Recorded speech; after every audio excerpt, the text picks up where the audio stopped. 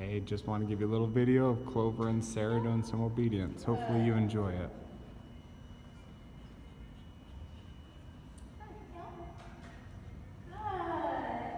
We have some distractions around. Got some dogs over here. Clover doing her sit.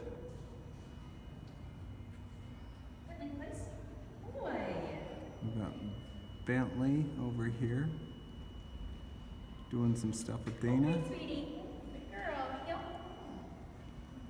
Some good distractions over here. So this is the place command. Bonus points for doing it with another dog around. she was a little bit put out by that puppy's energy. Okay, Clover, come. Good girl.